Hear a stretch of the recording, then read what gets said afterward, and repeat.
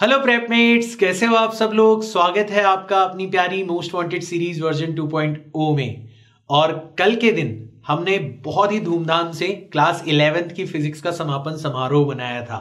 और आज उतने ही ज़्यादा जोश के साथ हम शुरू करने वाले हैं, शुभारंभ करने वाले हैं क्लास ट्वेल्थ की फिजिक्स का। बट आज का वीडियो शुरू करें।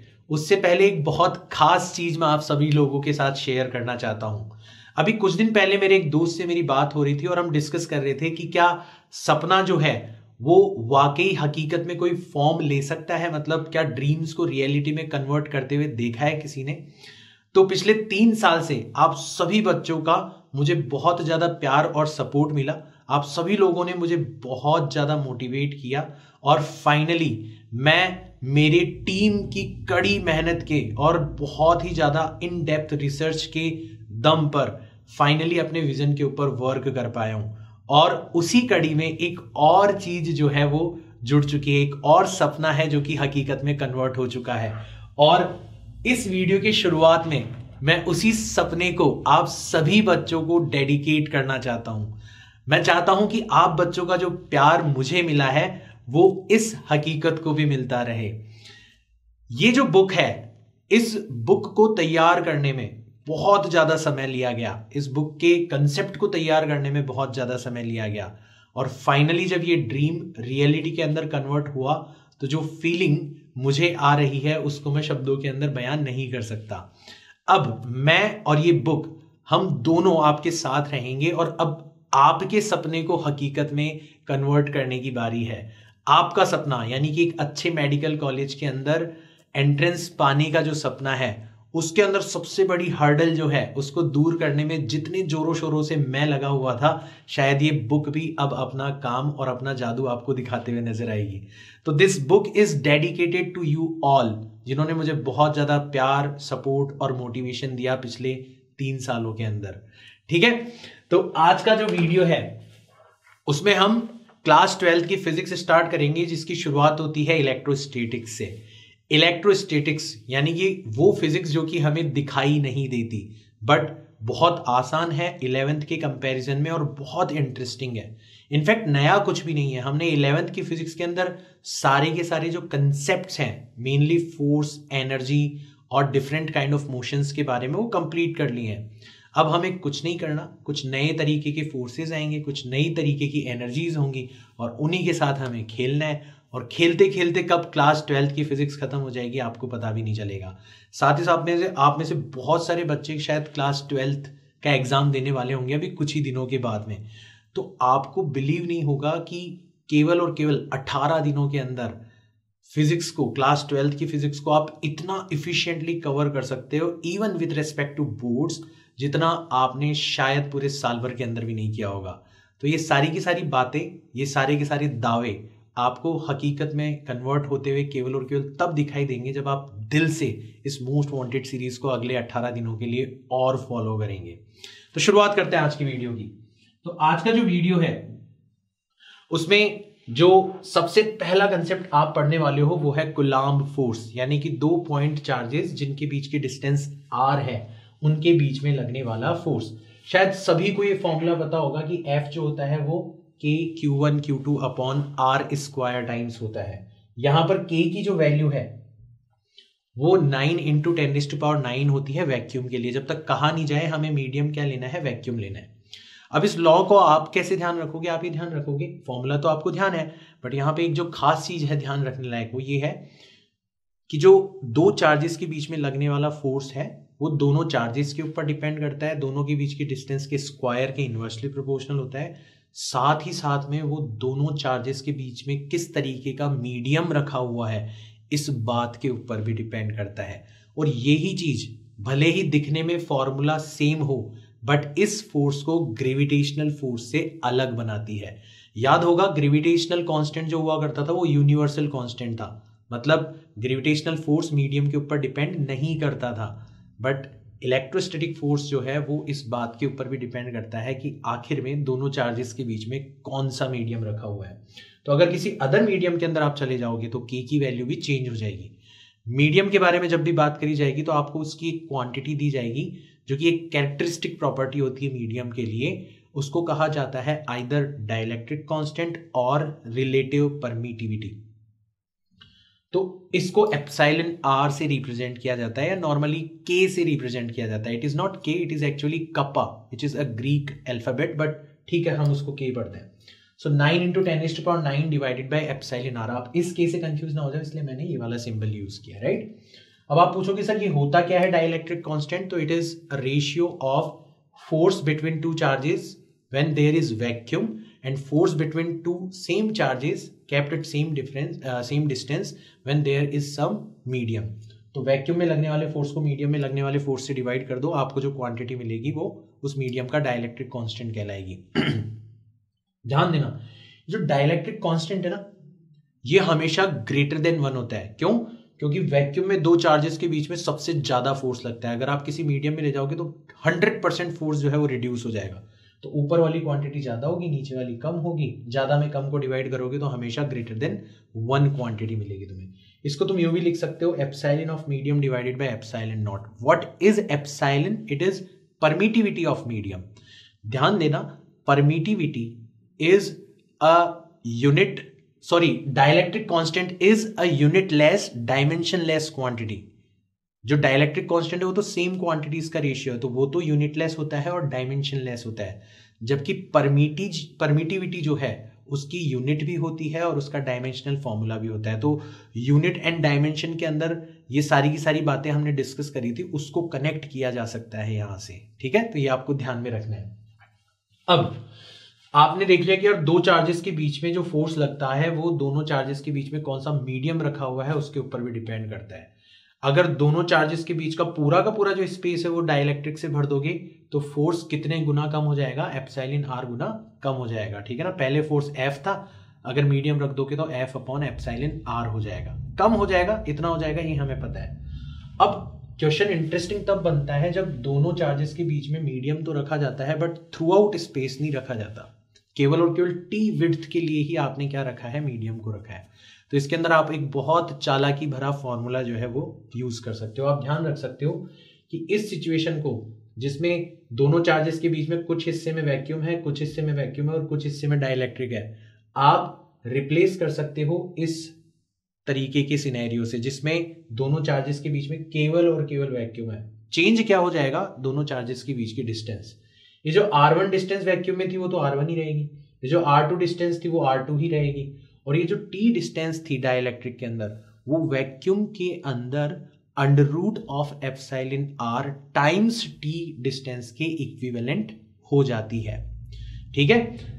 तो ये टी विड्थ यहाँ पे कितनी विड्थ के इक्वल हो गई? Under root epsilon R times T width in vacuum के इक्वल हो गई। इसलिए टोटल डिस्टेंस ये हो जाएगी और आप आसानी से दोनों चार्जेस के बीच में अब कितना फोर्स लगेगा वो फाइंड आउट कर सकते हो। अगर एप्साइलिन आर की वैल्यू इनफाइनाइट होगी। नॉर्मली ध्यान रखना वैक्यूम के लिए एप्साइलिन आर की वैल्यू वन होती है और मेटल्स यानी कि कंडक्टर्स के लिए एप्साइलिन आर की वैल्यू इनफाइनाइट होती है। यानी कि अगर आप दो चार्जेस के बीच में एक मेटल शीट रख दोगे तो एप्साइलिन आर की वैल्यू इनफाइनाइट होने की वजह से जब आप इक्विवेलेंट डायग्राम बनाओगे वैक्यूम में लेके जाओगे, ठीक है ना? तो जो डिस्टेंस हो जाएगी वो कितनी हो जाएगी? इनफाइनाइट हो जाएगी और डिस्टेंस इनफाइनाइट हो जाएगी तो आपका फोर्स कितना हो जाएगा? ज़ीरो हो जाएगा। तो ध्यान रखना, एक कंडक्टर के दोनों तरफ़ रखे हुए चार्जेस एक दूसरे के ऊपर बिल्कुल भी फोर्स नहीं लगाते। ठीक है? ये बहुत इंपॉर्टेंट है। तो इसके बारे में कुछ क्वेश्चंस जो हैं वो पूछे जाते हैं और उनकी प्रैक्टिस करेंगे हम क्वेश्चंस के दौरान राइट अब अपन बात करते हैं एक और फ़िज़िकल क्वांटिटी की, जो कि कहलाती है इलेक्ट्रिक फ़ील्ड मैंने पहले भी आपको बताया है कि जब फोर्स दो चीज़ों के बीच में इस तरीके से लगता है कि दोनों चीज़ें एक दूसरे को टच नहीं करती, फिर भी एक दूसरे के ऊपर फोर्स लगाती है तो फिर हमें वहाँ पर फ़ील्ड नाम के कंसेप्ट के बारे में और बात करनी पड़ती है। जैसे ग्रेविटेशनल फोर्स के केस में हमने ग्रेविटेशनल फ़ील्ड के बारे में बात करी थी तो यहाँ पर है इलेक्ट्रिक फ़ील्ड अब इलेक्ट्रिक फ़ील्ड जो होती है, वो फोर्स पर यूनिट चार्ज के इक्वल होती है। इसका एसआई यूनिट और डायमेंशनल फॉर्मूला जो है अक्सर कहीं ना कहीं किसी ना किसी तरीके से पूछ लिया जाता है और ये आगे आने वाले बहुत सारे फॉर्मूलाज के अंदर ये क्वांटिटी आपको यूज़ होती हुई दिखाई देगी राइट अगर किसी इलेक्ट्रिक फ़ील्ड ई में किसी चार्ज क्यू को रख दिया गया है तो उसके ऊपर फोर्स लगेगा Q times E because E is F upon Q तो एफ़ हो जाएगा क्यू टाइम्स ई ठीक है?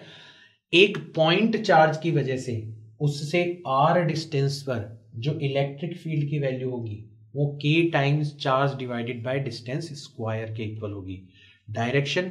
अगर चार्ज पॉजिटिव है तो रेडियली आउटवर्ड डायरेक्शन और अगर चार्ज नेगेटिव है तो रेडियली इनवर्ड डायरेक्शन तो ये एक सिंगल पॉइंट चार्ज की वजह से इलेक्ट्रिक फ़ील्ड की वैल्यू होती है राइट और भी डिफरेंट डिफरेंट तरीके के सिस्टम है जिनकी वजह से आपको इलेक्ट्रिक फ़ील्ड की वैल्यू ध्यान में रखनी है। जैसे एक वायर जिसको यूनिफॉर्मली चार्ज किया गया है इनफाइनाइट लेंथ का वायर है स्ट्रेट वायर है। और जब इसको चार्ज किया गया है तो आपको टोटल चार्ज नहीं देके लीनियर चार्ज डेंसिटी दी जाती है, उसको रिप्रेजेंट किया जाता है लेमडा से। It is nothing but the charge per unit length तो नॉर्मली जब भी आपको वायर के बारे में बात करी जाएगी तो आपको लेमडा दिया जाएगा। तो एक वायर की वजह से आर डिस्टेंस पर जो इलेक्ट्रिक फ़ील्ड होगी, वो हो जाएगी two K lambda divided by R एक शीट की वजह से इलेक्ट्रिक फ़ील्ड हो जाएगी sigma divided by two epsilon naught यहाँ पर सिग्मा जो है, वो सरफेस चार्ज डेंसिटी है, यानी कि चार्ज पर यूनिट एरिया एक कंडक्टिंग शीट की वजह से इलेक्ट्रिक फ़ील्ड हो जाएगी सिग्मा अपॉन एप्साइलिन नॉट एक कंडक्टिंग स्फेयर की वजह से इलेक्ट्रिक फ़ील्ड हो जाएगी बाहर K times total charge divided by centre से उस पॉइंट की डिस्टेंस का स्क्वायर और अंदर इलेक्ट्रिक फ़ील्ड हो जाएगी ज़ीरो इसीलिए ध्यान रखना कि यहाँ से लेके आर तक तो आपको इलेक्ट्रिक फ़ील्ड कितनी मिल रही है? ज़ीरो बट यहाँ पर एकदम से मैक्सिमम हो जाती है और फिर आर स्क्वायर की इन्वर्सली प्रोपोर्शनल होती हुई दिखाई देती है। तो एक ग्राफ जो है वो पूछे गए हैं पहले भी डायरेक्ट तो आपको ध्यान में रखना है।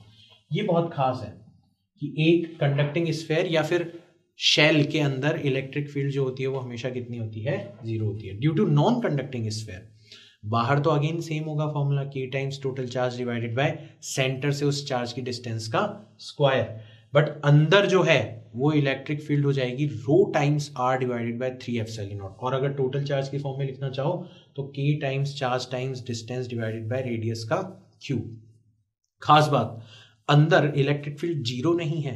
इनफैक्ट अंदर इलेक्ट्रिक फ़ील्ड डिस्टेंस के डायरेक्टली प्रोपोर्शनल है. इसलिए इसका जो ग्राफ होगा, वो कैसा होगा? जब तक आप अंदर हो, तब तक डायरेक्टली प्रोपोर्शनल और जैसे बाहर जाओगे तो आर स्क्वायर के इनवर्सली प्रोपोर्शनल हो जाएगा। It is very very important right एक रिंग की वजह से जो इलेक्ट्रिक फ़ील्ड होगी, वो हो जाएगी K times Q times X divided by R square plus X square power three by two अगर कोई पूछे रिंग के सेंटर पर इलेक्ट्रिक फ़ील्ड कितनी होगी तो एक्स की जगह ज़ीरो रख दो। जैसे ज़ीरो रखोगे तो आप देखोगे इलेक्ट्रिक फ़ील्ड भी ज़ीरो हो जाएगी। बहुत आसान है इस फॉर्मूले को आप ध्यान रख सकते हो राइट फिर एक बहुत ही खास सिस्टम होता है जो कि दो चार्जेस से मिलकर बना हुआ होता है। दोनों चार्जेस मैग्नीट्यूड में इक्वल होते हैं साइन में एक दूसरे के अपोजिट होते हैं। और दोनों चार्जेस के बीच की जो डिस्टेंस है, वो बहुत कम होती है। एटॉमिक ऑर्डर की होती है around ten is to power minus ten to ten is to power minus fourteen metre इस ऑर्डर की होती है राइट तो ऐसे सिस्टम ऑफ़ चार्ज को बोला जाता है इलेक्ट्रिक डायपोल और जब भी इलेक्ट्रिक डायपोल के बारे में बात करी जाएगी तो एक क्वांटिटी के थ्रू बात करी जाएगी, जिसको बोला जाता है dipole moment it is defined as the product of और इसको इंग्लिश में ही ध्यान रखना product of magnitude of a charge multiplied by distance between charges तो यहाँ पे जैसे डिस्टेंस ए प्लस ए कितनी है? टू ए उसको मैंने चार्ज से मल्टीप्लाई कर दिया. It is a vector quantity and its direction is always from negative charge towards positive charge तो हमेशा नेगेटिव से पॉजिटिव चार्ज की तरफ़ झांकते हुए इस वेक्टर की आपको डायरेक्शन मिलेगी। इस वेक्टर को आप एज ए रेफरेंस यूज़ करते हो। जैसे आप बोलते हो कि एक्सिस के ऊपर जो पॉइंट होगा, उस पर इलेक्ट्रिक फ़ील्ड हो जाएगी। ट्वाइस ऑफ़ के times dipole moment divided by distance cube ध्यान देना सिंगल चार्ज की वजह से इलेक्ट्रिक फ़ील्ड डिस्टेंस के स्क्वायर के इनवर्सली प्रोपोर्शनल होती थी और डायपोल की वजह से इलेक्ट्रिक फ़ील्ड डिस्टेंस के क्यूब के इनवर्सली प्रोपोर्शनल है। और इलेक्ट्रिक फ़ील्ड और डायपोल मोमेंट सेम डायरेक्शन के अंदर है। और इक्वेटर पर चले जाओगे तो इलेक्ट्रिक फ़ील्ड आपको मिलेगी नेगेटिव ऑफ़ के times dipole moment divided by distance cube negative sign इस बात को शो करता है कि अगर डायपोल मोमेंट इधर है तो इलेक्ट्रिक फ़ील्ड इक्वेटर पर जस्ट अपोजिट डायरेक्शन में हो जाएगी। ठीक है? ये जो इलेक्ट्रिक फ़ील्ड हम फाइंड आउट कर रहे हैं, किसी भी सिस्टम की वजह से उसको विजुअलाइज करने के लिए इलेक्ट्रिक फ़ील्ड लाइंस का यूज़ किया जाता है। क्या होती है इलेक्ट्रिक फ़ील्ड लाइंस अगर आप पूछोगे तो हाइपोथेटिकल कर्व्स होते हैं। हम केवल और केवल दिमाग में इमेजिन कर सकते हैं पेपर के ऊपर ड्रॉ कर सकते हैं। इन कर्व्स के द्वारा दो इंफॉर्मेशन हमें डायरेक्ट मिल जाती है। एक तो इनकी जो डेंसिटी है मतलब ये जितनी पास पास होती हैं, उस पॉइंट पर इलेक्ट्रिक फ़ील्ड की स्ट्रेंथ उतनी ही ज़्यादा होती है। और जितनी दूर दूर होती है, उस पॉइंट पर इलेक्ट्रिक फ़ील्ड की जो स्ट्रेंथ है, वो उतनी ही कम हो जाती है। इनके किसी भी पॉइंट के ऊपर ड्रॉ करी गई जो टेंजेंट है, वो आपको किस बात को किस बात को डिनोट करती है, वो उस पॉइंट के ऊपर इलेक्ट्रिक फ़ील्ड की डायरेक्शन को डिनोट करती है। दो इलेक्ट्रिक फ़ील्ड लाइन कभी भी एक दूसरे को इंटरसेक्ट नहीं करती, क्योंकि इंटरसेक्शन पॉइंट के ऊपर दो अलग अलग टेंजेंट दो अलग अलग डायरेक्शन के अंदर इलेक्ट्रिक फ़ील्ड को रिप्रेजेंट करेगी, जो कि पॉसिबल नहीं है। एक कंडक्टर के अंदर इलेक्ट्रिक फ़ील्ड लाइंस हमेशा गायब हो जाती हैं, क्योंकि कंडक्टर के अंदर इलेक्ट्रिक फ़ील्ड ज़ीरो होती है। साथ ही साथ में एक कंडक्टिंग सरफेस के ऊपर इलेक्ट्रिक फ़ील्ड लाइंस हमेशा नॉर्मल परपेंडिकुलर डायरेक्शन के अंदर होती है। इसका कारण आपको नेक्स्ट चैप्टर में जानने को मिलेगा बट एज अ फैक्ट आप इसको अभी ध्यान में रख सकते हो राइट तो ये इलेक्ट्रिक फ़ील्ड लाइंस को विजुअलाइज करने का तरीका है। साथ ही साथ में इसका एक और पर्पज है जो कि हम यहाँ पर जानेंगे। What is electric flux electric flux is nothing but number of field lines passing through a particular cross sectional area अब ये तो इसकी डेफिनेशन हो गई, जो कि हमारे किसी काम की नहीं है। इसका मैथमेटिकल फॉर्मूला होगा, it is defined as the dot product of electric field and area vector. I hope सबको डॉट प्रोडक्ट निकालना आता होगा। जिस एरिया की आप बात कर रहे हो हो सकता है उसके हर पॉइंट के ऊपर इलेक्ट्रिक फ़ील्ड की वैल्यू अलग हो डायरेक्शन अलग हो मैग्नीट्यूड अलग हो। तो आप छोटा सा एरिया एलिमेंट लोगे दैट इज़ डी एस उस छोटे से एरिया एलिमेंट से निकलने वाला फ्लक्स निकालोगे दैट इज़ डी फाइव और फिर नेट फ्लक्स निकालने के लिए इंटीग्रेशन की टेक्निक्स का यूज़ करोगे। अब जैसे इंटीग्रेशन का नाम आएगा, आप घबरा जाओगे बट मैं यहाँ पर आपको अश्योरेंस प्रोवाइड कराता हूँ कि इंटीग्रेशन करना पड़े।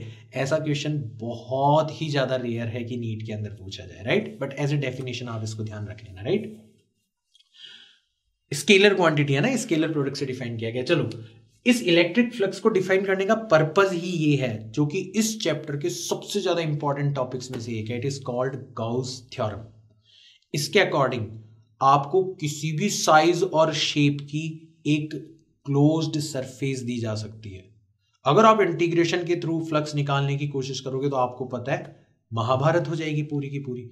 गॉस थ्योरम हमारी हेल्प करती है। गॉस थ्योरम बोलती है कि आपकी अगर सरफेस क्लोज्ड है तो उससे पास होने वाला नेट फ्लक्स हमेशा एनक्लोज्ड चार्ज और एप्साइलिन नॉट के रेशियो के इक्वल होगा। ये इस बात के ऊपर डिपेंड नहीं करेगा कि क्लोज्ड सरफेस की साइज़ कैसी है शेप कैसी है चार्ज कहाँ रखे हुए हैं, बस अंदर होने चाहिए, और चार्ज स्टेशनरी है या मूविंग है, नहीं डिपेंड करेगा, बस अंदर होने चाहिए। जैसे इस केस में, केवल और केवल Q1 और माइनस Q2 को ही हम काउंट करेंगे। Q3 इसलिए काउंट नहीं होगा क्योंकि वो हमारी सरफेस से बाहर चला गया। इसके ऊपर आपको बहुत सारे क्वेश्चन मिलेंगे। अब आप बोलोगे, सर, इतनी सी इंफॉर्मेशन इतना बड़ा चैप्टर इतनी सी इंफॉर्मेशन क्या इतनी सी इंफॉर्मेशन के बेसिस पे वाकई different variety of questions tackle किए जा सकते हैं? तो जैसा कि आपको पिछले 19 वीडियो के अंदर ये महसूस हो चुका होगा कि वाकई ऐसा हो सकता है। मोस्ट वांटेड सीरीज़ का वन ऑफ़ दी एडवांटेज ही यही है कि हमें मिनिमम इंफॉर्मेशन के बेसिस पे मैक्सिमम मैक्सिमम तरीके की जो प्रॉब्लम्स उनको टैकल करना सिखाया जा रहा है। हथियार हमारे पास कम है बट हर हथियार इतना पावरफुल है कि वो दस दस दुश्मनों का एक साथ सफाया कर सकता है। तो आपको ये प्रूव करने के लिए मैं एक बार वापस से आपको लेके चलूँगा क्वेश्चंस के पास राइट पहला क्वेश्चन हम देखते हैं। The electric field at a distance three r by two from centre of a charge conducting spherical shell of radius r is e the electric field at a distance r by 2 from the center of the sphere is. अब इस question को पढ़ते ही आप में से बहुत सारे बच्चे फॉर्मूला याद करने की कोशिश करेंगे।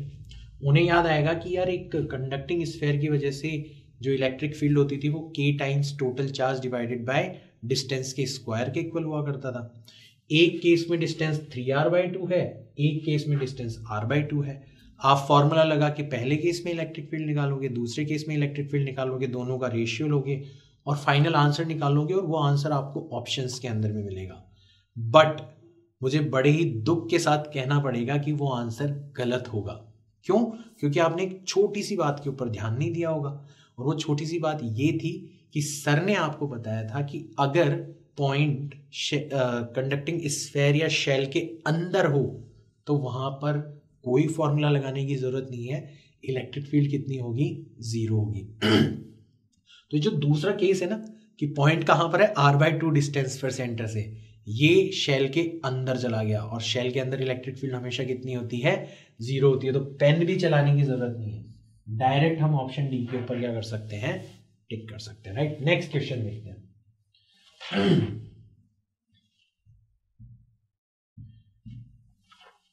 देखो a uniformly charge rod of length l moving with constant velocity v is passed through an imaginary cube of side l I hope आपको दिख रहा होगा डायग्राम में। In a way such that rod enters perpendicular to one face of the cube which of the following shows the variation of flux with distance तो आपको एक cube दे रखा है, एक रॉड दे रखी है, और ये जो रॉड है, धीरे धीरे धीरे धीरे धीरे इस क्यूब के अंदर एक कांस्टेंट वेलोसिटी के साथ एंटर कर रही है। बट शुरुआत में जब रॉड बाहर है, उस टाइम पर क्यूब के अंदर जो एनक्लोज चार्ज है, वो कितना होगा? ज़ीरो और क्योंकि flux enclose charge divided by epsilon naught के इक्वल होता है तो फ्लक्स भी कितना हो जाएगा? ज़ीरो तो देखो, फ्लक्स ज़ीरो है। इसमें भी ज़ीरो है, इसमें भी ज़ीरो है, इसमें भी ज़ीरो है और इसमें भी ज़ीरो है। तो अभी तक तो चारों के चारों ऑप्शन ही राइट कैंडिडेट बन सकते हैं हमारे, ठीक है ना? अब देखते हैं। अब जैसे जैसे आपकी रॉड अंदर एंटर करेगी, वैसे वैसे कांस्टेंट रेट से आपका एनक्लोज्ड चार्ज इंक्रीज होगा। यानी कि कांस्टेंट रेट से ही आपका जो फ्लक्स है वो भी इंक्रीज होना चाहिए। यानी कि फ्लक्स का जो ग्राफ है वो कैसा होना चाहिए? एक स्ट्रेट लाइन होना चाहिए। ठीक है? कब तक होना चाहिए? जब तक आपकी पूरी की पूरी रॉड जो है वो क्यूब के अंदर एंटर ना कर जाए। मतलब x is equal to l तक आप ना पहुँच जाओ। ठीक है? यहाँ तक की बात आपको समझ में आ गई।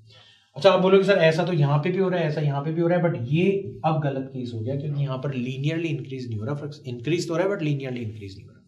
चलो, ठीक। अब नोटिस करो कि जैसे रॉड पूरी की पूरी एल लेंथ की इसके अंदर एंटर कर चुकी होगी, तुरंत नेक्स्ट मोमेंट पर ही रॉड बाहर निकलना चालू कर देगी। यानी कि तुरंत नेक्स्ट मोमेंट से ही आपका फ्लक्स जो है, वो लीनियरली डिक्रीज होना चालू कर देगा। यानी कि आपका ग्राफ जो है, वो अब डिक्रीज होना चालू कर देगा लीनियर इसलिए ये वाला ग्राफ गलत हो जाएगा क्योंकि इसमें बीच में कांस्टेंट बता रखा है, जो कि पॉसिबल नहीं है। इसमें बीच में कांस्टेंट बता रखा है, जो कि पॉसिबल नहीं है। ऑप्शन नंबर सी जो है, वो क्या हो जाएगा? करेक्ट हो जाएगा। तो जब हमने वो वीडियो बनाया था, जिसमें हमने ग्राफ के साथ खेलना सीखा था, उस वीडियो में ही मैंने आपको भविष्यवाणी कर दी थी कि इस वीडियो के अंदर बताए जाने वाले जितने भी कंसेप्ट हैं, इनको कहीं भी, किसी भी चैप्टर के अंदर यूज़ किया जा सकता है। आपको थोड़ा सा कॉमन सेंस और उस वीडियो की जो कंसेप्ट है वो ध्यान में रखने आप किसी भी तरीके का क्वेश्चन कर जाओगे। और मैंने आपको ये भी बताया था कि अगर आपको ग्राफ के साथ खेलना आ गया तो ग्राफ के क्वेश्चन से डर तो लगना बंद हो ही जाएगा। साथ ही साथ में आपको सबसे ज़्यादा आसान लगेंगे जो ग्राफ के ऊपर बेस्ड क्वेश्चन होते हैं। और हर बार चार पाँच क्वेश्चन नीट के अंदर पूछे जाते हैं ग्राफ के ऊपर right next question the figure shows the electric field lines in vicinity of two charges which one of the following statement concerning this situation is true तो हमने देखा था कि फ़ील्ड लाइंस किसको रिप्रेजेंट करती है? इलेक्ट्रिक फ़ील्ड को। हमने ये भी देखा था कि एक पॉजिटिव चार्ज की वजह से electric field radially outward direction में होती है मतलब बाहर निकलती है। और एक नेगेटिव चार्ज की वजह से electric field radially inward direction में होती है मतलब नेगेटिव चार्ज में एंटर करती है। तो हमारे इस डायग्राम को देख के आप पता लगा सकते हो कि Q1 से इलेक्ट्रिक फ़ील्ड लाइंस बाहर निकल रही है। मतलब ये तो पक्का पॉजिटिव चार्ज है। और Q2 में इलेक्ट्रिक फ़ील्ड लाइंस एंटर कर रही है, यानी कि पक्का नेगेटिव चार्ज है। तो ऑप्शन नंबर वन तो इसीलिए क्या हो गया इनकरेक्ट हो गया। Q1 is negative and Q2 is just हमारा जो निष्कर्ष है, उसका उल्टा बोल रहा है। ऑब्वियसली गलत है राइट सी को चेक करते हैं। Both Q1 and Q2 have same sign of charges ये भी गलत हो गया ना, हमारे हिसाब से एक पॉजिटिव है और एक नेगेटिव और ये कहना चाह रहा है कि दोनों का साइन सेम है। गलत है, इसको भी अपने क्रॉस कर दिया।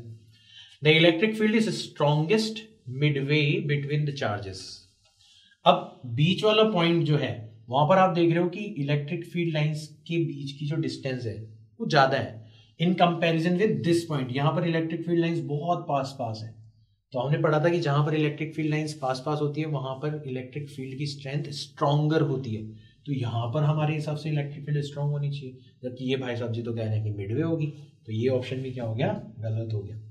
भाई, हमसे जो टकराएगा वो चूर चूर हो जाएगा। हमारे खिलाफ अगर कोई बोलेगा तो वो ऑप्शन गलत है right option number b correct होगा, क्योंकि वही बचा है। बट क्यों करेक्ट होगा वो भी पढ़ लेते हैं। The magnitude of ratio q two divided by q one is less than one तो ये कहाँ से बात आ गई? इसको रिलेट करेंगे अपन गॉस थ्योरम से। गॉस थ्योरम के अकॉर्डिंग अगर आप एक हाइपोथेटिकल क्लोज सरफेस यहाँ पे भी ड्रॉ करोगे और यहाँ पे भी ड्रॉ करोगे। तो number of field lines passing through this surface will represent flux and flux is nothing but q in divided by epsilon naught यानी कि नंबर ऑफ़ फ़ील्ड लाइंस जितनी ज़्यादा होंगी फ्लक्स भी उतना ही ज़्यादा होगा और फ्लक्स जितना ज़्यादा होगा, इसका मतलब है एनक्लोज्ड चार्ज भी उतना ही ज़्यादा होना चाहिए। तो हम देख रहे हैं कि यार यहाँ से नंबर ऑफ़ फ़ील्ड लाइंस ज़्यादा पास हो रही है। एक, दो, तीन, चार, पाँच छः सात, आठ, नौ इलेक्ट्रिक फ़ील्ड लाइंस पास हो रही है। और इधर से देख रहे हैं तो एक, दो, तीन, चार, पाँच छः सात, आठ केवल और केवल इतनी सी ही इलेक्ट्रिक फ़ील्ड लाइंस पास हो रही है, ठीक है ना? गिन लेना एक बार, कम है। तो आप हंड्रेड परसेंट कह सकते हो कि सर Q1 जो होगा वो ज़्यादा होगा किसके कंपैरिजन में? Q2 के कंपैरिजन में। यानी कि Q2 डिवाइडेड बाय Q1 छोटे नंबर को बड़े नंबर से डिवाइड करोगे तो पक्का जो क्वांटिटी आएगी वो क्या हो जाएगी? लेस देन वन हो जाएगी। ऑप्शन नंबर बी क्या हो जाना चाहिए? करेक्ट हो जाना चाहिए। इस कंसेप्ट को संभाल के रखना, हो सकता है ये आगे काम में आ जाए। Next question what is the flux through a cube of side A? If a point charge of Q is at one of its corners तो ऐसे क्वेश्चंस को करने के लिए आपकी हल्की फुल्की सी ड्राइंग जो है वो अच्छी होनी चाहिए। तो मेरे साथ साथ चलो, ठीक है ना? देखो, ये आपका एक क्यूब है, ठीक है? और इसके एक कॉर्नर पे, यहाँ पर, अपन दूसरा पेन यूज़ कर लेते हैं। यहाँ पे आपने क्या रखा हुआ है? एक चार्ज को रखा हुआ है। अब ये जो चार्ज है, ये इस क्यूब से बाहर भी नहीं है। अगर बाहर होता तो हम बोल देते कि क्यूब से निकलने वाला फ्लक्स कितना हो जाएगा ज़ीरो बट अंदर भी नहीं है तो उस पर रखा हुआ है। तो इसको एनक्लोज करने के लिए हमें कुछ सिमेट्रिकल क्यूब्स और रखने पड़ेंगे। तो हमें एक क्यूब यहाँ पर रखना पड़ेगा। ठीक है? हमें एक क्यूब यहाँ पर रखना पड़ेगा। और हमें एक क्यूब जो है वो यहाँ पर रखना पड़ेगा। बट अभी भी ये एनक्लोज नहीं हुआ। अभी भी ये इस वाली फ़ेज़ के सेंटर पर रखा हुआ दिखाई दे रहा है। तो फिर हमें ऐसी की ऐसी एक लेयर ऑफ़ क्यूब्स जो है वो इसके आगे भी रखनी पड़ेगी। ये हमने रख दी यहाँ पर। ठीक है, इस तरीके से।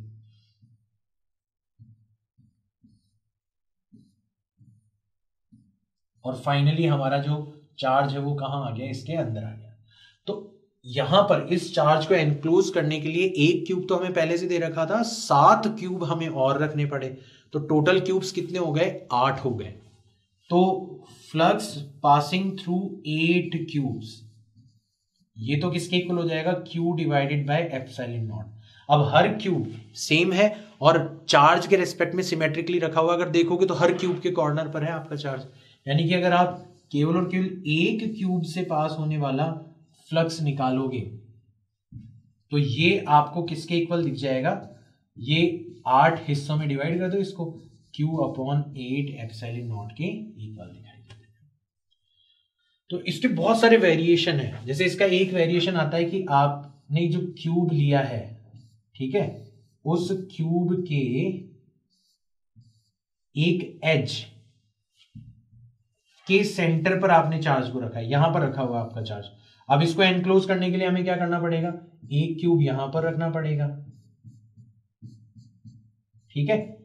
एक क्यूब इसके ऊपर रखना पड़ेगा यहाँ पर.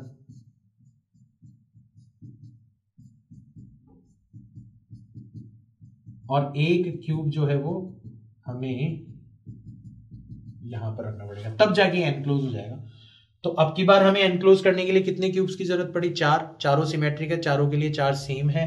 तो अब की बार जो नेट फ्लक्स होगा वो कितना हो जाएगा? एक क्यूब से पास होने वाला q upon four epsilon naught या एक वेरिएशन ये आता है कि ये आपका क्यूब है और अब की बार आपने जो चार्ज है, वो किसी एक फेस के सेंटर पर रख दिया, यहाँ पर रख दिया आपने चार्ज को। तो इसको एनक्लोज करने के लिए आपको क्या करना पड़ेगा? केवल और केवल एक क्यूब और रखना पड़ेगा यहाँ पर। ये रखते ही आपका चार्ज क्या हो चुका होगा? एनक्लोज हो चुका होगा। यानी कि इस केस में जो फ्लक्स की वैल्यू आएगी वो q upon two epsilon naught ठीक है ना? बोर्ड के अंदर भी ऐसा क्वेश्चन पहले पूछा जा चुका है और नीट के अंदर भी ऐसा छोटा सा स्वीट सा प्यारा सा क्वेश्चन पूछा जा सकता है।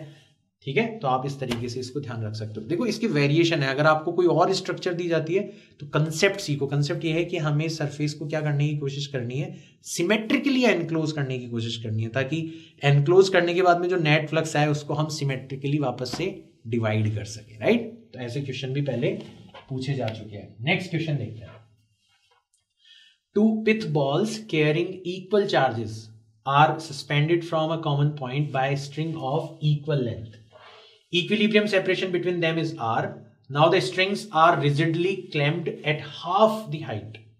The equilibrium position between the balls now become. देखो, कई बार फिजिक्स को फील भी करना होता है आप नोटिस करोगे कि ये दोनों बॉल्स एक दूसरे को रिपेल कर रही हैं, इसीलिए तो एक दूसरे से दूर दूर चली गई और अगर आप इन दोनों रस्सियों को दबाते दबाते दबाते हाफ़ हाइट पे ले आओगे तो आप नोटिस करोगे कि डिस्टेंस जो है वो इंक्रीज होगी आपको खुद को फील होगा ऐसा राइट बट हम तो मैथ्स के भरोसे भी टिके हुए हैं फिजिक्स के अंदर तो थोड़ा सा इसको मैथमेटिकली एनालाइज करना तो हम पहले देखते हैं कि ये जो, जब इक्विलिब्रियम में होगा तो ये इक्विलिब्रियम में जो एंगल बन रहा होगा, ये किस तरीके से किन किन क्वांटिटीज के ऊपर डिपेंड करेगा? तो यहाँ पे देखो कौन कौन से फोर्स लग रहे हैं। एम जी लग रहा है डाउनवर्ड डायरेक्शन में, ये इसको रिपेल कर रहा है तो k q square upon r square ये लग रहा है इस डायरेक्शन में, और स्ट्रिंग की वजह से लग रहा है टेंशन फोर्स टी इस डायरेक्शन में। तो अगर अपन कॉम्पोनेंट्स के अंदर डिवाइड करेंगे तो एक कंपोनेंट टेंशन का इधर आ जाएगा और एक कंपोनेंट इधर का आ जाएगा। नॉर्मली टेंशन को डिवाइड किया करो, क्योंकि टेंशन ही सबसे ज़्यादा परेशान करती है। अगर ये एंगल थीटा है तो ये भी थीटा हो जाएगा। तो थीटा की तरफ़ जो कंपोनेंट होगा वो टी कॉस थीटा और थीटा के इधर जो कंपोनेंट होगा वो टी साइन थीटा तो टी साइन थीटा ये तो किसको बैलेंस कर लेगा? कि q square upon r square को। और टी कॉस थीटा ये किसको बैलेंस कर लेगा? एम जी को। डिवाइड कर देंगे तो टी से टी कट जाएगा। टेन थीटा किसके इक्वल आ जाएगा? K q square upon m g times r square. और टेन थीटा अगर आप देखोगे तो किसके इक्वल है? परपेंडिकुलर डिवाइडेड बाय बेस तो परपेंडिकुलर है आर डिवाइडेड बाय टू और बेस है किसके इक्वल वाई तो आप नोटिस कर रहे हो आर को एक तरफ़ ले जाओ। आर क्यूब जो है बाकी सारी चीज़ें कांस्टेंट है। आर क्यूब इधर चला जाएगा वाई इधर चला जाएगा। वो किसके डायरेक्टली प्रोपोर्शनल हो जाएगा? वाई के डायरेक्टली प्रोपोर्शनल हो जाएगा। अब आते हैं हम हमारी सिचुएशन के ऊपर। मान लो बाद में डिस्टेंस जो हो गई, वो आर वन हो गई।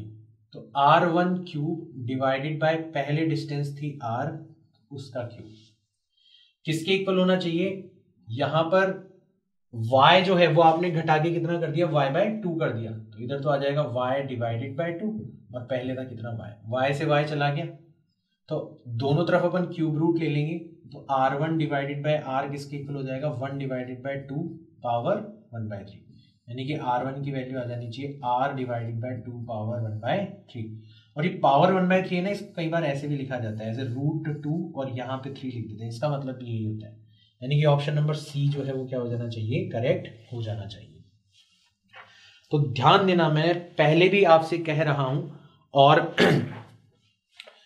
कि नीट के अंदर जो क्वेश्चंस पूछे जाते हैं, उनको दो कैटेगरीज में डिवाइड कर सकते हो सिंगल कंसेप्ट बेस्ड क्वेश्चंस और मिक्स्ड कंसेप्ट बेस्ड क्वेश्चंस तो मैं ट्वेल्थ की फिजिक्स पढ़ाते टाइम आप इलेवेंथ की फिजिक्स ना भूल जाओ, इसका अपनी तरफ़ से पूरा का पूरा प्रयास करता रहूँगा।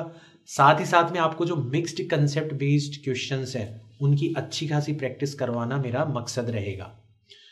ध्यान देना कि इस क्वेश्चन के अंदर इलेक्ट्रोस्टेटिक्स के कंसेप्ट को किससे रिलेट किया गया है? न्यूटन्स लॉज ऑफ़ मोशन के, जहाँ पर अपने फोर्सेस के इक्विलिब्रियम के बारे में पढ़ा था, उन कंसेप्ट से रिलेट किया गया है। तो अगर आपने इन कंसेप्ट को एक दूसरे से लिंक करना सीख लिया और अगर आप मिक्स्ड कंसेप्ट बेस्ड क्वेश्चंस को टैकल करना सीख गए तो फिर आपको नीट के अंदर फिजिक्स में बहुत अच्छा स्कोर करने से कोई भी नहीं रोक सकता। इनफैक्ट आपका जो कॉन्फिडेंस है वो इसी तरीके के क्वेश्चंस को करने से धीरे धीरे धीरे धीरे इंक्रीज हो जाएगा। इनमें है कुछ नहीं। मोस्ट वांटेड सीरीज़ आपके लिए क्यों फ़ायदेमंद है इस रिस्पेक्ट में राइट क्योंकि मोस्ट वांटेड सीरीज़ में आपने देखा होगा, आपने केवल और केवल 19 दिन में पूरी की पूरी इलेवंथ की फिजिक्स कवर कर ली और अगले 18 दिनों के अंदर ट्वेल्थ की फिजिक्स भी कंप्लीट कर लोगे। अब इतने शॉर्ट ड्यूरेशन के अंदर आप इफेक्टिवली इन कंसेप्ट को सीखोगे तो मजबूरी में भी आप इन कंसेप्ट को भूल नहीं पाओगे। आज से पहले आप फिजिक्स को इफेक्टिवली स्टडी शायद इसीलिए नहीं कर पाए, क्योंकि जब आपने एक कंसेप्ट सीखा और उसके बाद में दूसरा कंसेप्ट सीखने गए, तब तक पिछला जो कंसेप्ट था वो दिमाग से गायब हो चुका था, क्योंकि हम आज तक केवल और केवल चीज़ों को स्ट्रेच करते आए थे। पूरा का पूरा एक साल इलेवेंथ में लगा दिया, पूरा का पूरा एक साल ट्वेल्थ में लगा दिया। कोई बुराई नहीं थी, अगर दिल से पढ़ो तो बहुत अच्छी चीज़ है। बट नीट के रेस्पेक्ट में अगर आपको फिजिक्स को पढ़ना है तो आप इफेक्टिवली चीज़ों को श्रिंक करके पढ़ो। कंप्लीट पढ़ो, पूरा पढ़ो, थोड़ा हो सकता है टाइम ज़्यादा देना पड़ जाए। इनफैक्ट अभी मोस्ट वांटेड सीरीज़ के समय हो सकता है आपको एक एक दिन के अंदर छः छः सात सात घंटे पढ़ने की ज़रूरत पड़ रही हो। और साथ ही साथ में मेरी वजह से, क्योंकि फिजिक्स के वीडियोस जो है वो हल्के से अपने शेड्यूल से इधर उधर ऊपर नीचे होते रहते हैं, उसके कुछ फैक्टर्स हैं जिनके ऊपर मैं हंड्रेड परसेंट वर्क कर रहा हूँ। बट ये जो मेहनत है अगर आपने पुट कर ली तो फिर आपको शायद नीट के अंदर फिजिक्स के अंदर अच्छा स्कोर करने से कोई भी नहीं रोक सकता राइट तो ये मोस्ट वांटेड सीरीज़ का एक बहुत ही स्ट्रांग पॉइंट है कि you are seeing you are going through all the concept concept so rapidly इतना जल्दी आप इन सारे के सारे कंसेप्ट से रूबरू हो रहे हैं कि आप जब भी नए सिचुएशन के अंदर मल्टीपल कंसेप्ट को अप्लाई होता हुआ देखते हैं तो आपके दिमाग में सारी इंफॉर्मेशन प्रेजेंट होती है। And that is one of the advantage of most wanted series but ये बात मैं कहूँ तो हो सकता है केवल और केवल दावा लगे। और अगर ये बात आप लोगों को फील हो रही है, तब जाके इस बात को अपन कहेंगे कि हाँ यार, वाकई मोस्ट वांटेड सीरीज़ जो है वो सक्सेसफुल है। तो ये बात अगर हो सके तो आप मुझ तक पहुँचाने की कोशिश करना। It will be a very strong motivating factor for me calls करके हमारी टीम को या जो भी है, अगर आपको ऐसा लगता है तो मेरे तक इस बात को पहुँचाने की कोशिश करना। नेगेटिव अगर कुछ हो तो वो भी पहुँचाने की कोशिश करना राइट चलो next A rod of length L having uniform charge density lambda is passed inside the cube of size A. Find the maximum possible flux through the cube अब इस क्वेश्चन को पढ़ने के बाद में जो पिक्चर आपके दिमाग में बनेगी ना, वो कुछ ऐसी बनेगी कि ये तो है क्यूब ठीक है?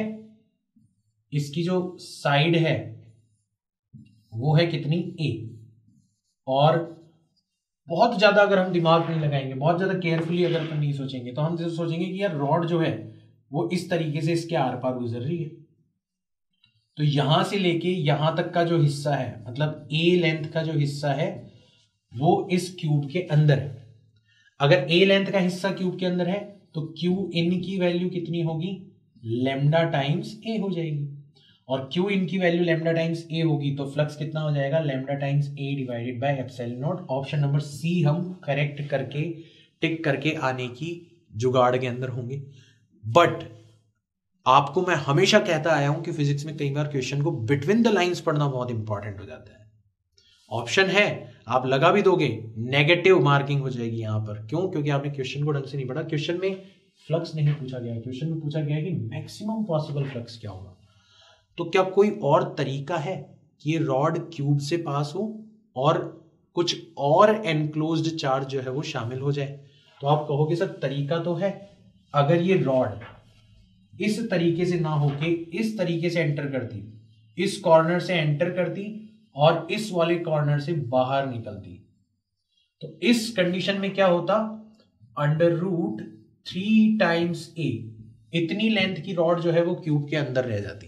पता है ना, बॉडी डायगोनल जो होता है क्यूब का वो root root three times side के इक्वल होता है। अगर नहीं पता हो तो निकाल सकते हो, ये ए है, ये ए है तो face diagonal root two A हो जाएगा। और फेस डायगोनल रूट टू है, ये ए है तो body diagonal root three A के इक्वल हो जाएगा। तो इस केस में जो क्यू इन की वैल्यू होगी, वो कितनी हो जाएगी? Under root three times A times lambda हो जाएगा। इसलिए जो मैक्सिमम फ्लक्स होगा, वो कितना हो जाएगा? Under root three times A times lambda divided by epsilon nought यानी कि ऑप्शन नंबर ए असल में क्या होना चाहिए? करेक्ट होना चाहिए। बहुत इंपॉर्टेंट है। ठीक है? तो ये चीज़ आपको ध्यान में रखनी है। कई बार क्वेश्चन जो है वो इसीलिए इंटरेस्टिंग बन जाते हैं क्योंकि उसमें हल्का सा आपसे अटेंशन डिमांड करी जाती है कि आप कितना ध्यान से क्वेश्चन पढ़ रहे हो। ठीक है? नेक्स्ट क्वेश्चन के पास चलते हैं। An electron is projected as in figure with kinetic energy K at an angle theta is equal to thirty degree between two charge plates the magnitude of electric field so that the electron just fails to strike the upper plate should be greater than तो जो बच्चे खुश हो रहे हो कि यार अरे वाह इलेवेंथ खत्म हो गई, जो भी है, पढ़ा लिखा नहीं पढ़ा लिखा, कोई फ़र्क नहीं पड़ता। सुभाष सर अब ट्वेल्थ क्लास की फिजिक्स पे जा चुके हैं तो इलेवंथ को भूल जाते हैं। वही गलती वापस से करते हैं जो हम इलेवंथ को पढ़ते टाइम पे करते थे। बट सुभाष सर ऐसा नहीं होने देंगे, आपको किसी ना किसी तरीके से बार बार इलेवेंथ की फिजिक्स जो है वो रिमाइंड करवाते रहेंगे। जैसे इस क्वेश्चन में आपको concept of conservation of mechanical energy और साथ ही साथ प्रोजेक्टाइल मोशन के कंसेप्ट को भी यूज़ करना पड़ेगा। तो आपको याद होना चाहिए। देखना, कोशिश करना। इसकी काइनेटिक एनर्जी के थी। इसकी वेलोसिटी अपन मान लेते हैं कितनी है वी तो के की वैल्यू कितनी हो जाएगी? हाफ़ एम वी स्क्वायर फिर जब ये जाएगा तो इसके ऊपर, हालाँकि यहाँ पर ग्रेविटेशनल फोर्स नहीं है प्रोजेक्टाइल मोशन में ग्रेविटेशनल फोर्स होता था ना जो नीचे लगता था, यहाँ पे ग्रेविटेशनल फोर्स की जगह इलेक्ट्रोस्टेटिक फोर्स है। तो इलेक्ट्रोस्टेटिक फोर्स की वजह से इसकी मोशन क्या होगी? प्रोजेक्टाइल होगी टॉप मोस्ट पॉइंट पर पहुंचेगा।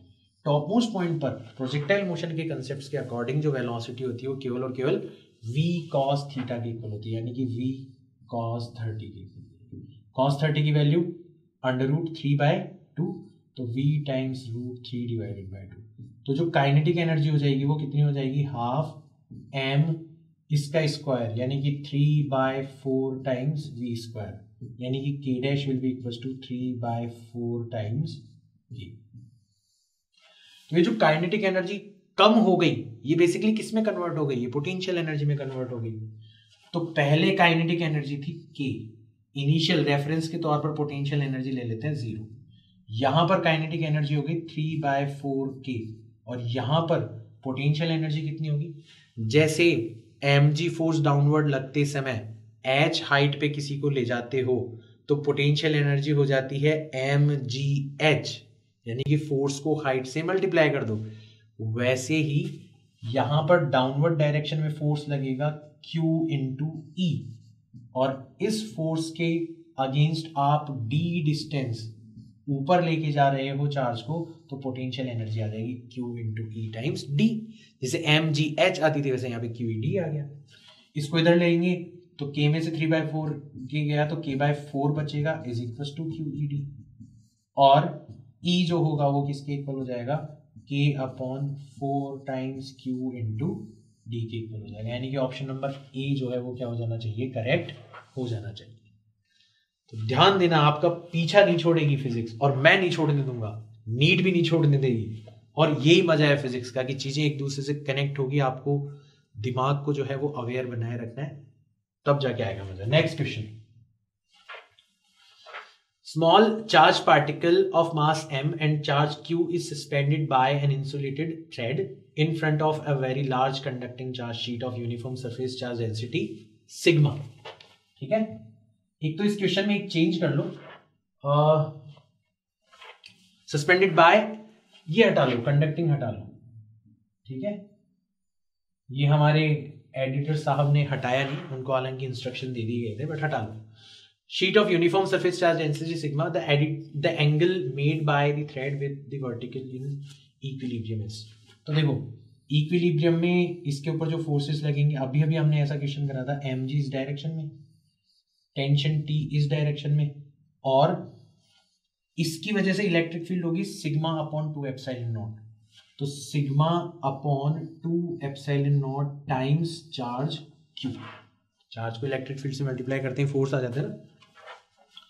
फिर आगे की कहानी तो आपको पता ही है, अगर ये एंगल थीटा है तो ये भी थीटा हो जाएगा, ये टी कॉस थीटा हो जाएगा, ये टी साइन थीटा हो जाएगा, ये टी साइन थीटा बैलेंस कर लेगा sigma Q upon two epsilon nought को, और टी कॉस थीटा बैलेंस कर लेगा एम जी को। डिवाइड करेंगे तो टेन थीटा आ जाएगा sigma into Q divided by two epsilon nought M G यानी कि थीटा आ जाना चाहिए tan inverse sigma Q divided by two epsilon nought M G के इक्वल यानी कि ऑप्शन नंबर ए जो है वो करेक्ट हो जाना चाहिए. पीछा तो नहीं छोड़ेगी आपको इलेवेंथ की क्लास की फिजिक्स खासकर मैंने आपको इनफैक्ट उन वीडियोस के अंदर बताया था कि हम न्यूटन्स लॉस ऑफ़ मोशन में फोर्सेस के बारे में, उनके इक्विलिब्रियम के बारे में पढ़ रहे हैं। वर्क एनर्जी पावर में हम एनर्जी के बारे में, उसकी कंजर्वेशन के बारे में पढ़ रहे हैं। सर्कुलर मोशन में type of motion which is specific कि ऐसा ऐसा फोर्स होने पर ऐसी ऐसी मोशन होगी। एस एच एम में again a motion which is specific कि ऐसा ऐसा फोर्स होने पर ऐसी ऐसी मोशन होगी। ये सब चीज़ें कहीं भी कनेक्ट करी जा सकती हैं। और कनेक्ट करी जाते हुए क्वेश्चन नीट के अंदर भी पूछे गए हैं, और मैं भी आपको उनकी प्रैक्टिस करवाता रहूँगा स्मूथ मॉडल सीरीज़ के अंदर। Next question force between two identical charges placed at a distance of r in vacuum is f now a slab of dielectric constant k is equals to 4 is inserted between them तो ऐसे दो charge थे एक तो q एक और q जब ये वैक्यूम में थे और इनके बीच की डिस्टेंस r थी तब इनके बीच में फोर्स लग रहा था कितना f कितना फोर्स लग रहा था when two identical charges placed at distance r in a vacuum is f तो F की वैल्यू थी K times Q square divided by R square फिर क्या हुआ? आपने आधा जो हिस्सा है, उसको किससे भर दिया? डाइलेक्ट्रिक से भर दिया। तो आपने यहाँ पे ये आर बाय टू डिस्टेंस तक क्या भर दिया? एक डाइलेक्ट्रिक स्लैब रख दी। तो मैंने आपको बताया था कि इस सिनेरियो को आप अगेन वैक्यूम के अंदर ड्रॉ कर सकते हो but with a replacement replacement क्या होगा? ये चार्ज क्यू होगा। ये जो आर बाई टू डिस्टेंस है डाइलेक्ट्रिक के अंदर, वो वैक्यूम के अंदर किसके इक्वल हो जाएगी? Under root of epsilon R times R by two के इक्वल हो जाएगी। एप्साइलन आर या के फोर तो अंडर रूट ऑफ़ फोर करोगे तो टू हो जाएगा और टू को आर बाई टू से मल्टीप्लाई करोगे तो कितना आ जाएगा? आर तो आर डिस्टेंस ये R by two distance in dielectric किसके इक्वल हो जाएगी? आर डिस्टेंस इन वैक्यूम और बाकी की जो आर बाई टू डिस्टेंस है वो तो रहेगी ही रहेगी। ये आर बाई टू डिस्टेंस तो रहेगी ही रहेगी। तो अब हमारे दोनों चार्जेस के बीच की डिस्टेंस कितनी हो गई? R plus R by two that is three R by two हो गई। तो अब हमारा जो फोर्स है एफ़ डैश वो किसके इक्वल हो गया? के टाइम्स क्यू स्क्वायर और इसका स्क्वायर करोगे तो नाइन आर स्क्वायर और टू का स्क्वायर फोर चला जाएगा ऊपर। ये शक्ल किससे मिलती जुलती है? एफ़ से। तो एफ़ डैश की जो वैल्यू होगी वो कितनी हो जाएगी? Four F divided by nine के इक्वल हो जाएगी। यानी कि ऑप्शन नंबर डी जो है, वो क्या हो जाना चाहिए? करेक्ट हो जाना चाहिए। ठीक है? नेक्स्ट क्वेश्चन देखिए electric dipole moment of a combination in the figure is अब आप इस डायग्राम को देखोगे तो आप बोलोगे, सर, ये तो क्वेश्चन गलत है। यहाँ पे तो इलेक्ट्रिक डायपोल हमें दिखाई नहीं दे रहा। बट अगर आप इस माइनस थ्री क्यू चार्ज को डिवाइड कर दोगे तीन हिस्सों में, एक चार्ज यहाँ, एक चार्ज यहाँ और एक चार्ज यहाँ। यहाँ का मतलब है एक चार्ज का पेयर इसके साथ बना दो, एक का पेयर इसके साथ बना दो और एक का पेयर इसके साथ बना दो। तो फिर आपको तीन अलग अलग डायपोल दिख जाएँगे। इसका डायपोल मोमेंट होगा इस डायरेक्शन में, उसकी वैल्यू हो जाएगी चार्ज मल्टीप्लाइड बाय डिस्टेंस अब ध्यान देना, यहाँ पे बच्चे क्या करते हैं, रटे हुए होते हैं, वो टू ए क्यू लिख देते हैं, जबकि यहाँ पे अब की बार दोनों चार्जेस के बीच की डिस्टेंस कितनी है ए है। तो डायपोल मोमेंट होगा क्यू इंटू ए इसका भी डायपोल मोमेंट होगा क्यू इंटू ए और इसका डायपोल मोमेंट हो जाएगा under root two into Q into A क्योंकि जो डिस्टेंस होगी डायगोनल जो होता है वो कितना होता है? रूट टू ए टाइम्स होता है। तो तीन डायपोल हो गए आपके। एक तो क्यू ए इधर की तरफ़, एक क्यू ए इधर की तरफ़ और एक under root two Q A इधर की तरफ़।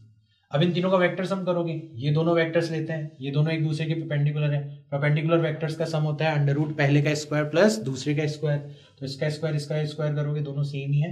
तो इन दोनों का जो रिजल्टेंट आएगा वो आ जाएगा रूट टू क्यू ए और फिर इन दोनों का जो रिजल्टेंट है वो आ जाएगा twice of root two Q A यानी कि ऑप्शन नंबर बी जो है, वो क्या हो जाना चाहिए? करेक्ट हो जाना चाहिए। ठीक है? Next question Two point charges exert force F Newton when separated by a distance 10 centimeter in air. The distance for which the force between them will be same if the medium between them has epsilon r is equals to 4. तो देखो ये दो charges हैं और इन दोनों के बीच में एक मीडियम रखा हुआ है और इस मीडियम की जो एप्साइलन आर की वैल्यू है, वो हमें दे रखी है और इन दोनों के बीच की डिस्टेंस अपन ले लेते हैं एक्स तो फोर्स जो हो जाएगा, वो किसके इक्वल हो जाएगा? K Q square divided by epsilon R देखो के की जगह तो आ जाएगा के अपॉन एप्साइलिन आर हमने पढ़ा था। क्यू तो क्यू स्क्वायर रहेगा ही रहेगा और डिस्टेंस का स्क्वायर करेंगे तो एक्स स्क्वायर अभी बोल रहा है कि ये फोर्स उतना ही है जितना इन दोनों चार्जेस के बीच में लग रहा था जब इनके बीच में कोई मीडियम नहीं था और डिस्टेंस थी कितनी? R which is ten centimetre इसकी वैल्यू अपन बाद में रख देंगे। तो इस केस में फोर्स रहा होगा K times Q square divided by R square K Q square से के क्यू स्क्वायर कैंसिल हो गया और इन दोनों को आप कंसिडर करोगे तो आर किसके इक्वल आ जाएगा? Under root epsilon R times X के इक्वल आ जाएगा। तो एक तो आपको जाने अनजाने में पता पड़ गया कि वो जो root epsilon R times distance in medium ये जो फंडा था, ये कहाँ से आया? यहाँ से आया। खैर derivation is not important but इस क्वेश्चन के थ्रू हमने देख ली। तो जो x की वैल्यू है, वो किसके इक्वल हो जाएगी? r upon under root epsilon R के इक्वल हो जाएगी। r की वैल्यू कितनी दे रखी है? टेन सेंटीमीटर और अंडर रूट एप्साइलिन आर कितना दे रखा है अपने को चार चार का रूट दो दो को दस से डिवाइड करोगे, दस को दो से डिवाइड करोगे तो आ जाएगा फाइव सेंटीमीटर यानी कि ऑप्शन नंबर सी जो है, वो क्या हो जाना चाहिए? करेक्ट हो जाना चाहिए। ठीक है? डायरेक्ट भी कर सकते थे बट इसके थ्रू मेरा मेरा जो पर्पज था कि हाँ कंसेप्चुअली भी आप इस क्वेश्चन को टारगेट कर सकते हो सॉल्व होगा राइट नेक्स्ट क्वेश्चन देखिए। Two identical small balls of equal charge Q and equal mass m are placed at a separation of r is equals to 1 meter in air on a rough surface. ये आपकी rough surface हो गई। ठीक है? दो charges है, एक ये है और एक ये है। तो एक के ऊपर लगने वाले सारे के सारे फोर्सेस शो करते हैं। एक तो ये दोनों एक दूसरे को रिपेल करेंगे, कितने फोर्स से K times Q square divided by distance square repulsion की वजह से टेंडेंसी ऑफ़ मोशन जनरेट होगी और उसकी वजह से फ्रिक्शन जनरेट होगा। फ्रिक्शन होता है म्यू टाइम्स एन के इक्वल एम जी लग रहा है डाउनवर्ड डायरेक्शन में और एन लग रहा है अपवर्ड डायरेक्शन में। क्योंकि कोई मोशन नहीं हो रही तो एन ही किसके इक्वल हो जाएगा? एम जी के इक्वल तो फ्रिक्शन हो जाएगा म्यू एम जी के इक्वल और म्यू एम जी और ये दोनों आपस में एक दूसरे को बैलेंस कर लेंगे। तो mu M G is equal to K Q square upon R square तभी तो इक्विलिब्रियम में रहेगा। तो इससे हमें किसकी वैल्यू मिल जाएगी? Magnitude of maximum charge Q तो क्यू की वैल्यू मिल जाएगी under root mu M G into R square divided by K चलो रखते हैं सबकी वैल्यू अंडर रूट म्यू की value zero point nine M की value zero point nine G की वैल्यू टेन आर की वैल्यू तो वन है, उसका स्क्वायर वन होगा, लिखने की ज़रूरत नहीं है। Nine into ten raise to power nine ये पॉइंट हटेगा टेन आ जाएगा, ये पॉइंट हटेगा टेन आ जाएगा। एक नाइन से एक नाइन चला जाएगा, एक टेन से एक टेन चला जाएगा। नाइन का रूट थ्री बाहर आ जाएगा। और ये टेन टू पावर नाइन और वन टेन हो जाएँगे, इसको ऊपर ले जाएँगे माइनस टेन हो जाएँगे रूट से बाहर निकालेंगे तो ten to power minus five आ जाएगा। अगर आप इसको टेन से डिवाइड कर रहे हो तो ये ten to power minus six ten से मल्टीप्लाई भी करना पड़ेगा तो इसको thirty into ten to power minus six भी लिख सकते हो, यानी कि थर्टी माइक्रो गुलाम भी लिख सकते हो। ऑप्शन नंबर ए जो है वो क्या हो जाना चाहिए? करेक्ट हो जाना चाहिए। तो कहीं भी, क्योंकि फोर्स ही तो है यार, अब फोर्सेस को कहीं भी इक्विलिब्रियम की कंडीशन लगा लगोगे कनेक्ट किया जा सकता है and you should be prepared for that right next question Two small identical spheres having charges plus 10 microcoulomb and minus 90 microcoulomb attract each other with a force of F Newton. If they are kept in contact and then separated by the same distance, the new force between them is Now, in this case, you should remember a very important principle about conservation of charge. A total charge of an isolated system will remain conserved. अब यहाँ पे दो ही charges हैं आपस में आराम से लगे पड़े तो इनका जो चार्ज है वो क्या रहेगा? आइसोलेटेड सिस्टम है कंजर्व रहेगा। तो पहले इस पे 10 माइक्रोकुलाम था, इस पे माइनस नाइनटी माइक्रोकुलाम था और टोटल कितना था? माइनस एटी और क्योंकि दोनों आइडेंटिकल स्फेयर है तो दोनों को टच कराओगे तो दोनों आधा आधा शेयर कर लेंगे। एक के ऊपर आ जाएगा माइनस फोर्टी माइक्रोग्राम और दूसरे के ऊपर आ जाएगा माइनस फोर्टी माइक्रोग्राम यहीं पे क्वेश्चन सॉल्व हो जाएगा। तो इन दोनों, इस केस में जो फोर्स था, वो तो था के टाइम्स पहला चार्ज टाइम्स दूसरा चार्ज डिवाइडेड बाय डिस्टेंस का स्क्वायर और इस टाइम पे जो फोर्स है, वो जाएगा के टाइम्स पहला चार्ज टाइम्स दूसरा चार्ज डिवाइडेड बाय डिस्टेंस का स्क्वायर कोई माइक्रोकुलाम लिखने की ज़रूरत नहीं है, कोई माइनस वगैरह लिखने की ज़रूरत नहीं है, क्योंकि हमें डायरेक्ट कंपेयर करना है राइट डिवाइड करोगे। एफ़ डैश को एफ़ से डिवाइड करोगे। तो के अपॉन आर स्क्वायर से K upon R square cut जाएगा फोर्टी इंटू फोर्टी और नीचे आ जाएगा टेन इंटू नाइनटी, ज़ीरो से ज़ीरो ज़ीरो से zero, four into four, sixteen divided by nine, यानी कि एफ़ डैश की वैल्यू आ जाएगी F sixteen F divided by nine. यानी कि ऑप्शन नंबर सी जो है वो क्या हो जाना चाहिए? करेक्ट हो जाना चाहिए राइट तो इस तरीके की क्वेश्चन आपको बहुत केयरफुली करने हैं, क्योंकि मेन फंडा जो है, वो ये न्यूमेरिकल सॉल्व करना नहीं है मेन फंडा है कंजर्वेशन ऑफ़ चार्ज को रिकॉग्नाइज करना राइट नेक्स्ट क्वेश्चन देखते हैं।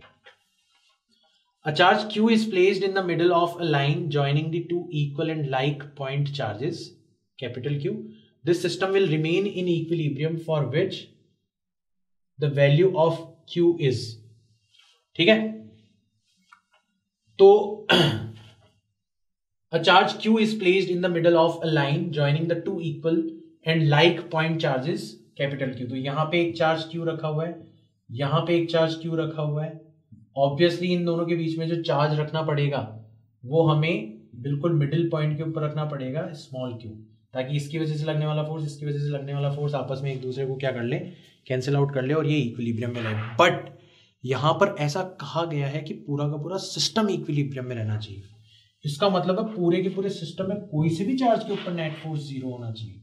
तो इसकी वजह से इसके ऊपर जो फोर्स लगेगा वो हो जाएगा k times capital Q divided by small Q ये डिस्टेंस हो जाएगी आर बाय टू तो आर बाय टू का स्क्वायर करोगे तो आर स्क्वायर टाइम्स फोर और इसकी वजह से इसके ऊपर लगने वाला फोर्स हो जाएगा k times Q square divided by simply R square इन दोनों का सम हो जाना चाहिए ज़ीरो तभी तो ये इक्विलिब्रियम में रहेगा। इसको उधर ले जाएँगे तो four times k times Q times Q divided by R square is equal to minus k times Q square divided by R square k से के खत्म क्यू से क्यू खत्म आर स्क्वायर से आर स्क्वायर खत्म तो small Q की value minus Q divided by four के equal आ जाएगी ठीक है? यानी कि आपका जो चार्ज रखा जाने वाला है, उसकी value minus Q by four के इक्वल होनी चाहिए। अब यहाँ पर मुझे एक चीज़ याद आई। मैं चाहूँगा कि ये जो अप्रोच है, ये तो आपके पास में रहे ही रहे और रहनी भी चाहिए। ये तो इक्विलिब्रियम ऑफ़ फोर्सेस है। बट आप इसको एज अ डायरेक्ट फॉर्मूला भी ध्यान रख सकते हो। कैसे ध्यान रख सकते हो? तो हम क्या कर रहे थे? हमने शुरुआत में,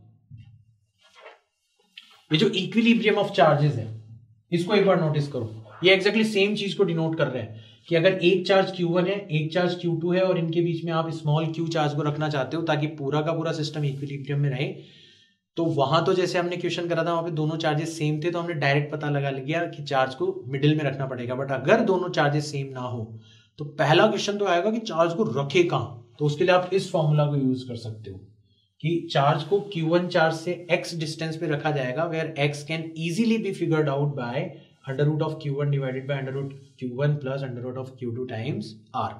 और कितना चार्ज रखा जाए, उसकी वैल्यू फाइंड आउट करी जाएगी minus Q one Q two divided by under root of Q one plus under root of Q two का होल स्क्वायर तो ये दोनों फॉर्मूलाज जो है, हालाँकि आए उसी तरीके से जिस तरीके से अपने क्वेश्चन को सॉल्व किया है बट ये दोनों फॉर्मूलाज भी आपको ध्यान में रखना है। तो ये जो पर्पस है, इस पर्टिकुलर सेगमेंट को यहाँ पर इंक्लूड करने का, वो यही है कि आप क्वेश्चन को कंसेप्चुअली टारगेट करोगे तो थोड़ा टाइम ज़्यादा लगेगा। बट अगर आपको अगर फॉर्मूला याद है और क्योंकि स्टैंडर्ड क्वेश्चन है तो फिर आसानी से इनको फॉर्मूला बेस्ड तरीके से भी कर सकते हो। जैसे अब सेम क्वेश्चन को इस फॉर्मूला के ऊपर बेस्ड हम करना चाहें तो हम आसानी से कर सकते हैं। ठीक है? जैसे हमें पता है कि कितना चार्ज रखा जाने वाला है तो उसके लिए फॉर्मूला है Q is equal to minus Q one Q two divided by under root of Q one plus under root of Q two का होल स्क्वायर तो यहाँ पर क्यू वन भी क्यू है क्यू टू भी क्यू है under root Q plus under root Q का whole square ये टू अंडर रूट क्यू हो जाएगा, उसका स्क्वायर करेंगे तो ऊपर तो क्यू स्क्वायर रह जाएगा और नीचे फोर टाइम्स क्यू रह जाएगा क्यू से एक क्यू कट जाएगा माइनस क्यू बाय फोर आ जाएगा। तो गलती होने के चांसेस भी कम है और आप डायरेक्टली इस तरीके के क्वेश्चंस को सॉल्व कर सकते हो राइट नेक्स्ट क्वेश्चन देखते हैं। Determine the ratio Q1 divided by Q2 as lines of forces of two point charges are shown in figure. तो यहाँ पे अगेन थोड़ा सा एडिटर साहब की गलती को अपन करेक्ट कर देते हैं। ऐसे बता। तो हमने पहले भी डिस्कस किया था ऐसा क्वेश्चन कि हम क्या करते थे? एक हाइपोथेटिकल सरफेस ड्रॉ करते थे, यहाँ पर भी और यहाँ पर भी। फिर हमें पता था कि यार जो नंबर ऑफ़ फ़ील्ड लाइंस है, वो किसको रिप्रेजेंट करेगी? फ्लक्स को। और जो फ्लक्स है, वो डायरेक्टली किसके प्रोपोर्शनल होगा? चार्ज के। तो अपन number of field lines count कर ले। यहाँ पर नंबर ऑफ़ फ़ील्ड लाइन्स है one two three four five six seven eight nine ten eleven twelve thirteen fourteen fifteen sixteen seventeen eighteen तो Q1 जो है, वो तो 18 फ़ील्ड लाइंस के इक्विवेलेंट है। ठीक है? फ़ील्ड लाइंस होगी। और Q2 जो है, वो काउंट करो one two three four five six field lines के इक्विवेलेंट है। तो Q1 डिवाइडेड बाय Q2 कितना हो जाना चाहिए? 18 डिवाइडेड बाय 6 दैट इज़ 3 के इक्वल हो जाना चाहिए। यानी कि ऑप्शन नंबर बी जो है वो क्या हो जाना चाहिए? करेक्ट हो जाना चाहिए। Right next question right so these questions ये जो क्वेश्चंस हमने करे हैं, इसके थ्रू आपको इलेक्ट्रोस्टेटिक्स के अंदर तो घुमाया ही घुमाया गया है। साथ ही साथ में अब आपको बार बार जो हमारी इलेवेंथ क्लास को खत्म करने का हम जश्न मना रहे थे, उसकी यादों के अंदर भी आपको घुमाया जाएगा। और मिक्स्ड कंसेप्ट बेस्ड क्वेश्चंस जो है, वो ट्वेल्थ की फिजिक्स का आधार है। ध्यान देना नीट के अंदर ट्वेल्थ की फिजिक्स के ऊपर जो क्वेश्चंस आएँगे, वो स्टैंड अलोन क्वेश्चन होने की बजाय कुछ मिक्स्ड कंसेप्ट बेस्ड क्वेश्चन होंगे। और मोस्ट वांटेड सीरीज़ का जो सबसे बड़ा एडवांटेज है, उसका हमें फ़ायदा उठाना है। मेरे साथ साथ भले ही थोड़ी सी मेहनत ज़्यादा करनी पड़ जाए, इस पर्टिकुलर मोमेंट के ऊपर मुझे इस सीरीज़ को चलाने के लिए कितनी मेहनत कर रही, करनी पड़ रही है, वो मैं बयां भी नहीं कर सकता। जब हम जीत जाएँगे, जब आप अपने सपने को हासिल कर लोगे, मैं अपने सपने को हासिल कर लूँगा, तब शायद कभी बैठकर बात करेंगे कि इस दौरान कितने संघर्ष के दौर से हम सभी को गुजरना पड़ रहा था। बट संघर्ष और यह दौर इंपॉर्टेंट नहीं है। इंपॉर्टेंट है कि क्या हम हमारे सपनों को हकीकत में कन्वर्ट कर सकते हैं, जैसे कि हम सभी ने मिलकर हमारे एक बहुत बड़े सपने को इस हकीकत के अंदर कन्वर्ट किया है। सो so, मेरी बेस्ट विशेस हमेशा साथ रहेंगी आपकी और मैं एक बार वापस से आप सभी लोगों को कॉन्ग्रेचुलेट करना चाहूँगा। ये जो ड्रीम है ये केवल और केवल मेरे अकेले का ड्रीम नहीं है। आप सभी लोगों का ड्रीम है जिन्होंने मुझे चाहा है मुझे सपोर्ट और मोटिवेशन दिया है। तो आप सभी लोगों को मैं कॉन्ग्रेचुलेट करना चाहूँगा। कि हमारे हाथ में फाइनली हमारा जो ड्रीम है, वो हकीकत की फॉर्म में प्रेजेंट है। मिलता हूँ मैं आपसे नेक्स्ट वीडियो के अंदर। Thank you